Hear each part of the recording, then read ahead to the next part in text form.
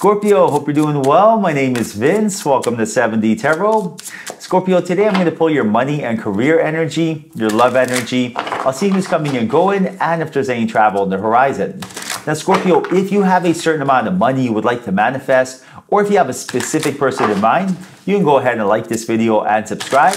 And if you are interested in scheduling your own personal reading with me, all the info you need is in the description box below.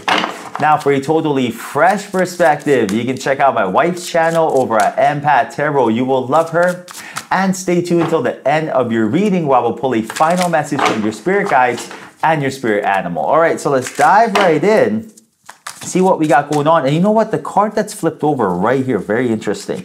Look at that. You got the Seven of Swords. So right now your angels are telling you that this is a time to be strategic with your energy. This is a time to come up with a game plan. Well, do you have a game plan? For example, like what is your one year, three year, five year, 10 year game plan? And why is it important? So say for example, say if you're going to a job and say at that job, it may not be your dream job. So when you're waking up in the morning, you're like, oh man, I got to go to work. I don't want to be here. Immediately lowers your vibration. Now imagine if you had a game plan and now your one year game plan is like, I will come to this job for the next year and learn. I will network. I will collaborate. I will see how this work environment works. And I'll go start my own job once I collect enough data. I'll go start my own business, for example. But when you have that, you know, uh, game plan, your perspective changes and you're not waking up in the morning saying, oh, I hate my job. But instead, I'm going to go collect data. And it totally changes your energy. And when you change your energy, you change your life. Now look at this. Talk about energy. Wow. Knight of Pentacles, Eight of Pentacles, Ace of Cups, the Magician, just beautiful energy, Two of Cups, so much abundance here for you. The Hierophant, King of Wands, Ace of Swords, the Fool. This is crazy. This is very, very good. Now, here's the resistance. You got the Nine of Wands and the Five of Wands. So I see here that there's a little bit of extra pressure you're putting on yourself, which is causing resistance, and I'll show you how to clear that energy. Now, Scorpio, your affirmation for today is I am rich and abundant. Yes, you are. Write this down in the comment section. I am rich and abundant quantum entangle with this energy, invite the energy of money, welcome the energy of wealth. I am rich and abundant. Let the universe know you command, assume, expect this energy. I am rich and abundant. Write this down in the comment section. Now, talk about riches.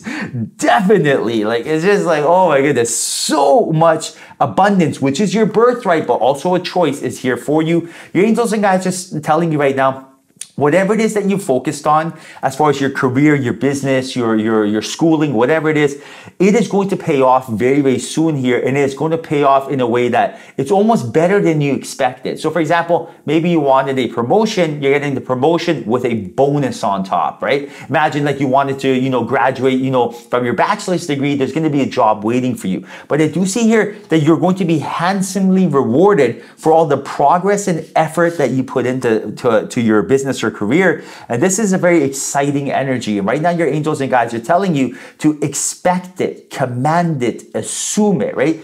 Don't wait for it. Don't be waiting for it in the third dimension. That is lack, and lack does not create a thought of abundance. Lack is saying you don't have something. And of course, it's realistic and analytical and practical, but where does that get anyone, right? It's just you got to use more of a mystical, spiritual, quantum energy. And that's how, that's exactly how you tap into the fourth dimension rather than third dimension. So I'll give you an example. Right now, imagine you've been waiting for a promotion at work. And right now, every single time that you, you know, go to work, you're almost like, oh, why have I not got this promotion? And you're waiting, waiting, waiting. Now, understand that the third dimension takes its orders from the fourth dimension, right? So all you have to do is cut out the middleman, the third dimension, where time exists, which takes forever. Go right to the fourth dimension. The fourth dimension is the mystical, spiritual, and quantum. When you tap into your powers that you possess, that everyone on earth has, you just got to know how to activate them then everything becomes effortless rather than efforted and you're no longer waiting. And I'll give an example right now.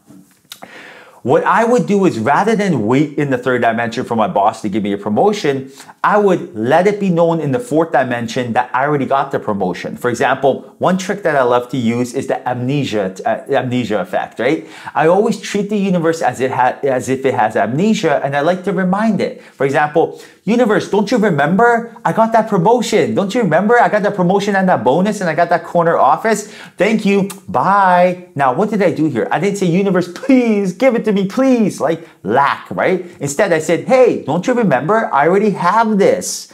Then the universe is like, oh, law of attraction, like attracts like, law of attraction. If you have it, you must have it. Therefore, I'm in the allowing stage and I get gifted it. That's the energy that I feel from you. Your angels are and guides are telling you to stop putting so much pressure on yourself. Let go of this energy. This energy is the reason that is causing resistance. And that resistance is actually something that can be met by coming up with a strategic game plan of what it is that you're looking to do. And right now, using this amnesia trick, it works like a charm. I use it for everything. Universe, don't you remember? I am supposed to be with my soulmate. Don't you remember? I'm supposed to, you know, be have those six pack abs, whatever it is you're looking for, and it comes to fruition. Now look at this. Ace of Cups and the Two of Cups, this is unbelievable. Right now, your angels are telling you that you are so close to attracting someone that is on the same vibrational energy as yourself, same feeling as yourself. Someone who doesn't have a bad bone in their body, someone who treats you with the love and respect you truly deserve, and someone who also sees your value. And that's at the end of the day. Everyone wants to feel wanted. Everyone wants to feel valued. Everyone wants to feel as if they are, you know, bringing a service to, to, to, to someone else. Everyone wants to be with someone else to experience life and have experiences. And right now, to live a rich and fulfilled life is to really go through experiences. You and this person, whoever this is that I feel like is entering your life rather soon here, because you got the Knight of Wands, this is someone that really is not only romantic, but someone who likes to get you out of your comfort zone in a good way, right? So for example, like when I met my wife Alicia, you know, one thing that I helped her with was starting businesses. You know, she already had her own business, but I taught her, you know, don't take no for an answer. Don't worry about, you know, what can go wrong. Focus on what can go right. Be fearless, be bold. And what did she teach me? About spirituality, law of attraction. It's 14 years ago. I had no idea, but we complemented each other, right? And then now, you know, you should see her. Oh my goodness. Like she's just, she's a tiger when it comes to business so many different Amazon brands. And now, look at me now, right? I got my, my, my spirituality going. You know, every day I meditate, journal, manifest. Check out Dr. Joe, check out Billy Carson, really learn how to play this third dimensional game using that fourth dimensional, you know, knowledge. And right now, that's the same energy I feel between you and this person. And when you are learning, creating, and, and really growing with each other, that's when your relationship is it, it's really next level. Like it truly is not only just a romantic relationship, but it's like a best friend as well. And that's the energy that spirit is bringing into your life. All right. Now, Scorpio, I'm going to pull your spirit animal. Oh, look at this. One of my favorites, canary spirit.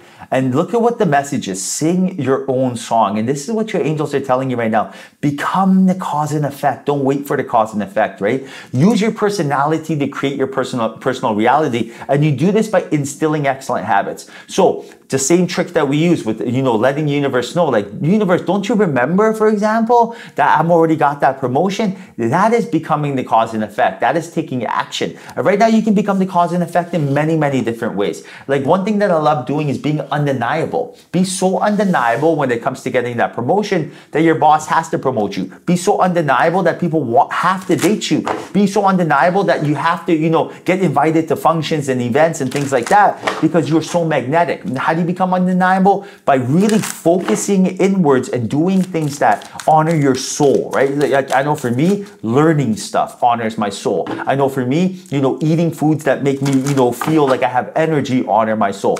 Doing these things will definitely get you there. All right, Scorpio, now I will pull a final message from your spirit guides. Wow, look at this one and look what it's about. Be in service. What a beautiful, beautiful message. And right now, you know, the greatest queens, the greatest kings in the world, they all serve their people because they know that is truly the way into the heavens. Now, give back to the now the message is give back to the world.